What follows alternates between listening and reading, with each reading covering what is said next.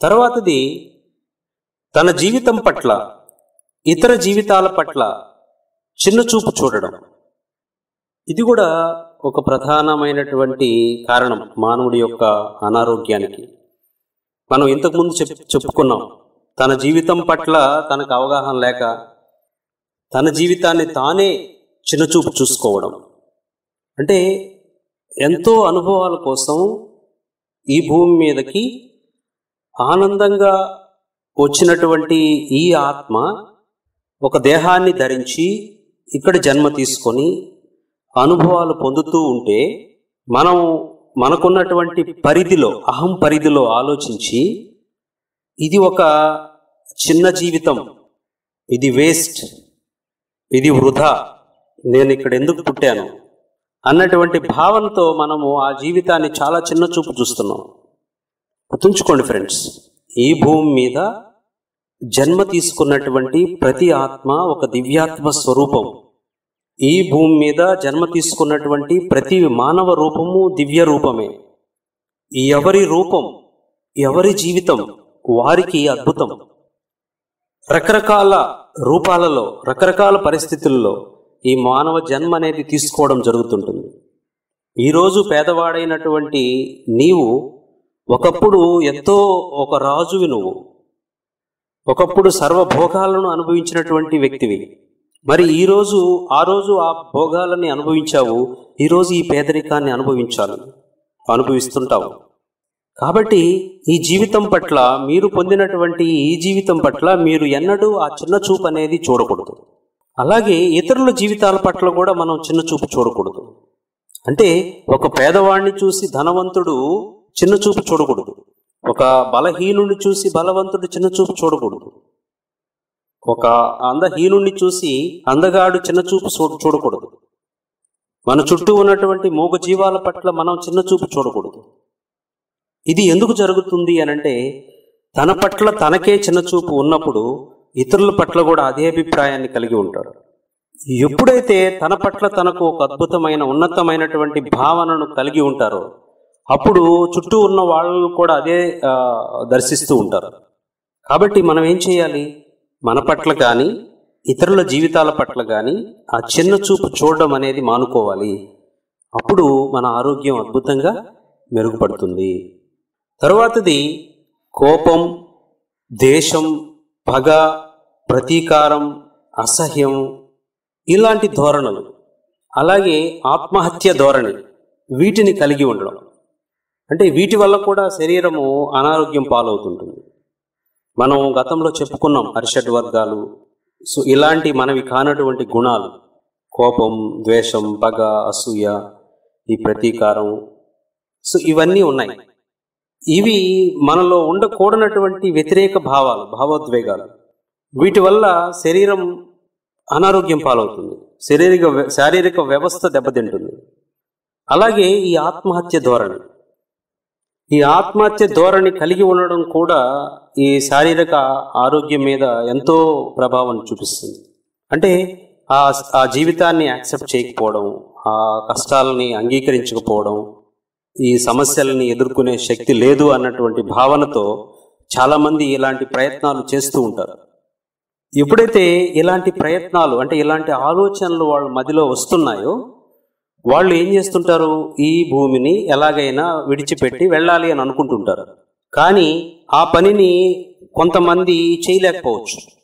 అప్పుడు దానికి అనుకూలంగా వాళ్ళు ఆ శరీరం మీద ఒక అనారోగ్యాన్ని తెచ్చుకుంటారు.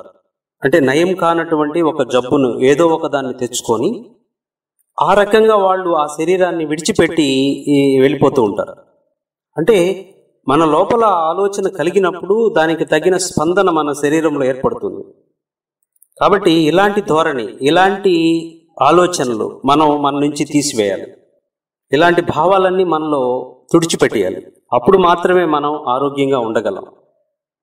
మరి దీనికి మనం ఎంతో సాధన చేయాలి. మనల్ని మనం శోధించుకోవాలి. ఎంతో శక్తిని తీసుకోవాలి. ఈ గుణాలన్నింటినీ మార్చుకోవాలి. సో దానికి ధ్యానం అన్నది ఏకైక పరిష్కార మార్గం మిత్రులరా.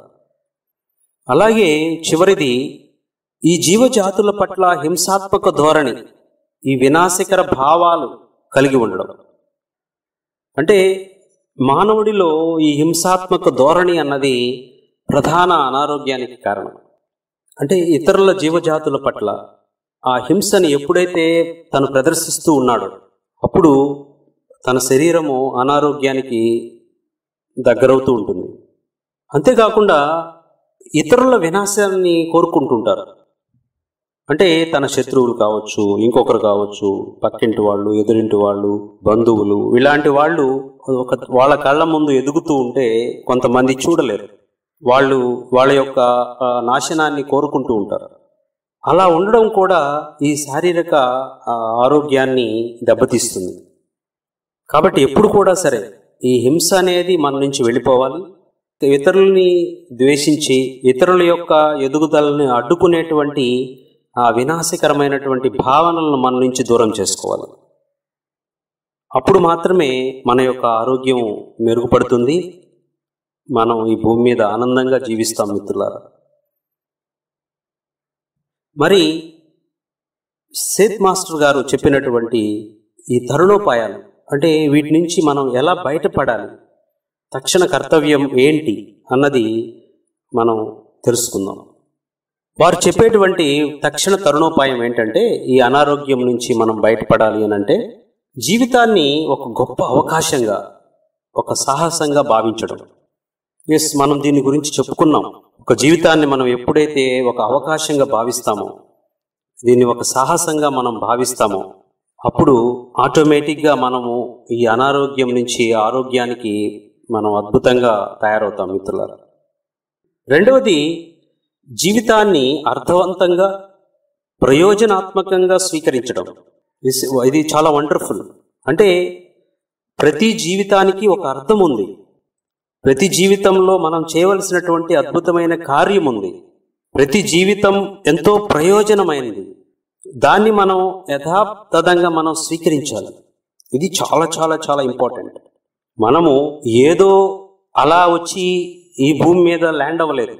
ఆత్మ ఈ భూమి మీద చేసేటువంటి ఈ ప్రయాణానికి ఎంతో అర్థం ఉంది మరి ఈ జన్మలో ఆ జీవితాన్ని మనం అద్భుతంగా జీవించకుండా దాన్ని మనం అర్థం చేసుకోకుండా ఈ జీవితం యొక్క ప్రయోజనాన్ని మనం అర్థం చేసుకోకుండా దీనికి పూర్తి విరుద్ధంగా మనం ఆలోచించి ఈ అద్భుతమైనటువంటి జీవితాన్ని మనం వృధా చేసుకుంటున్నాం.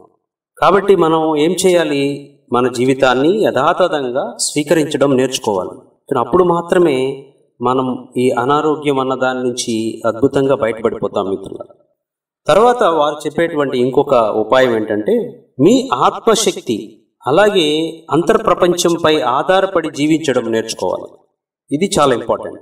అంటే మన ఆత్మశక్తిని మనం అర్థం చేసుకోవాలి. మన ఆత్మశక్తి మీద మనం జీవించడం మొదలు పెట్టాలి మన అంతర్ ప్రపంచం మీద ఆధారపడి జీవించడం మొదలు పెట్టాలి మనం ఎప్పుడైతే చక్కగా ఈ ధ్యానం చేస్తూ సాధన చేస్తూ ముందుకెళ్తామో లోతుల్లోకి వెళ్ళిపోతామో సో ఈ పాయింట్ మనకు బాగా చక్కగా అర్థమవుతుంది. అంటే ఆత్మశక్తి అంటే ఏంది? అంతర్ ప్రపంచం అంటే ఏంది? దాంతో మనం ఎలా కనెక్ట్ అవ్వాలి? దాని నుంచి మనం మనం ఎలా సమాధానాలు పొందాలి? దాన్ని మన జీవితంలో ఎలా వాడుకోవాలి? సో ఇలాంటివన్నీ మనకు అద్భుతంగా తెలుస్తాయి మిత్రుల తప్పక తెలుస్తాయి.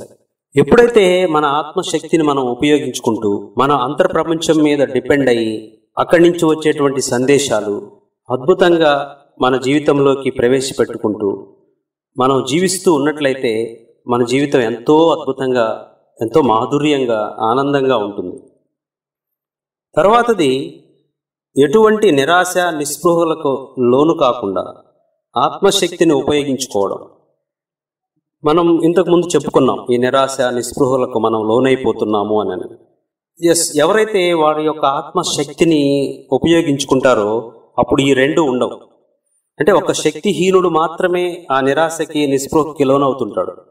అంటే ఇది చేయలేను నేను ఇది నా వల్ల కాదు అన్నప్పుడు డీలా పడిపోతూ ఉంటాం. అలా కాదు. నా లోపల అనంతమైన శక్తి ఉంది. ఈ ఆత్మకు అన్నీ సాధ్యమే. ఈ ఆత్మతో నేను ఏదైనా సాధించగలను. నా ఆత్మశక్తికి అన్నీ సాధ్యమే అనేటువంటి ఆలోచనతో మనం ఉన్నప్పుడు అద్భుతంగా మన ముందు ఉన్నటువంటి ఎలాంటి సమస్యనైనా మన ఆత్మశక్తితో అద్భుతంగా పరిష్కరించుకుంటూ అద్భుతంగా మనం ముందుకి సాగుతూ ఉంటాం మిత్రులారా. ఈ ఆత్మశక్తిని మనం ఉపయోగించుకోవడంలో కూడా ఎలాంటి అనుమానం వద్దు. ఇది నాకు సాధ్యమేనా? ఇది అవుతుందా? ఇది కాదా? అన్నటువంటి రీజనింగ్ మనకు అవసరం లేదు. అది ఆల్రెడీ ఉంది. మనం ఏమో బయట నుంచి పొందవలసినటువంటి అవసరం కూడా లేదు. మనం చేయవలసింది ఈ ధ్యానం అన్నటువంటి ఈ సాధన ద్వారా మన లోపల ఉన్నటువంటి ఆ ఆత్మశక్తిని మేల్కొల్ప చేయడం. అంతే ఇంకేం లేదు. నిద్రాణమైనటువంటి ఆ శక్తుల్ని మనము మేల్కొల్పుకోవడం మనలో ఉన్నటువంటి ఆ దివ్యత్వాన్ని అద్భుతంగా మనము ప్రకటితం చేసుకోవడం. సో ఎప్పుడైతే మనలోని ఆ దివ్యత్వం మేల్కొంటుందో మన జీవితంలో అద్భుతమైనటువంటి మాధుర్యాన్ని మనం చూస్తాం మిత్రులారా. సో దీనికి ఏంటి మార్గము అని అంటే ధ్యానం. ధ్యాన సాధన అంతరంగ ప్రయాణం ఆత్మశోధన ఆ దివ్యత్వాన్ని ప్రకటితం చేసుకోవడం ఆ దివ్యత్వాన్ని దర్శించడం. సో కాబట్టి ఈ ధ్యానం అన్నది మన యొక్క జీవితంలో అద్భుతంగా ఎన్నో విధాలుగా అన్ని విధాలుగా మన జీవితాన్ని అద్భుతంగా మారుస్తుంది మిత్రులారా. కాబట్టి ఈ సేత్ మాస్టర్ మనకి ఇచ్చినటువంటి ఈ సందేశాన్ని ఈ సూత్రాలని మన జీవితంలో ప్రవేశపెట్టుకోవాలి ఆరోగ్యంగా ఆనందంగా అద్భుతంగా ఈ జీవితాన్ని మనం జీవిస్తాము. మరి ఇంతటి అద్భుతమైన జ్ఞానాన్ని మనకు అందించినటువంటి ఆ సేత్ మహానుభావుడికి మనం కృతజ్ఞతలు తెలుపుకుంటూ thank you thank you thank you. మరి ఫ్రెండ్స్ ఈ వీడియో మీకు నచ్చినట్లయితే మరి ఇది ఎవరికైతే అవసరమో వారందరికీ మీ మిత్రులకి బంధువులకి తప్పక పంపించండి.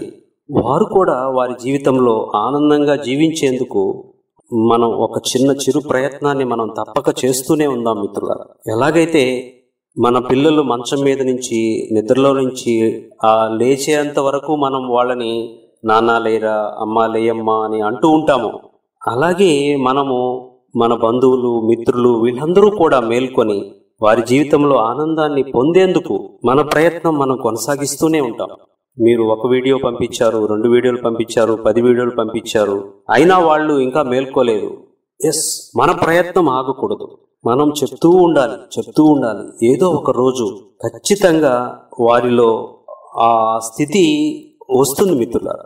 ఇంకా అప్పుడు వారి జీవితం ఆనందంగా ఉంటుంది. కనీసం కొంతమందినైనా సరే ఈ జీవిత ప్రయాణంలో మనం ఆనందంగా ఉండేందుకు ఒక మార్గం చూపగలిగితే ఇక మన జీవితం అద్భుతంగా ఈ భూమి మీద హ్యాపీగా ఉంటుంది మిత్రులారా. సో ఈ వేణు పిరమిడ్ మాస్టర్ అన్న యూట్యూబ్ ఛానల్లో దాదాపు వందకు పైగా మంచి అద్భుతమైనటువంటి వీడియోలు ఉన్నాయి.